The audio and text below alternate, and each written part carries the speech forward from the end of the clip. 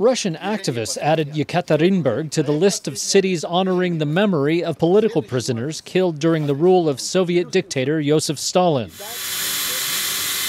On August 10th, they installed memorial plaques on the house where Polish born Andrzej Zbikowski and his wife Natalia Mukhina were arrested in 1937.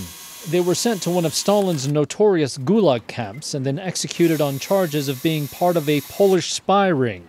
Months later, the 70 year old father of Mukhina, a retired general in the pre Soviet Imperial Russian Army, was arrested in the same house and then executed. Yekaterinburg is the 21st city in the Last Address project, in which human rights activists commemorate Stalin's victims with plaques on their last known homes.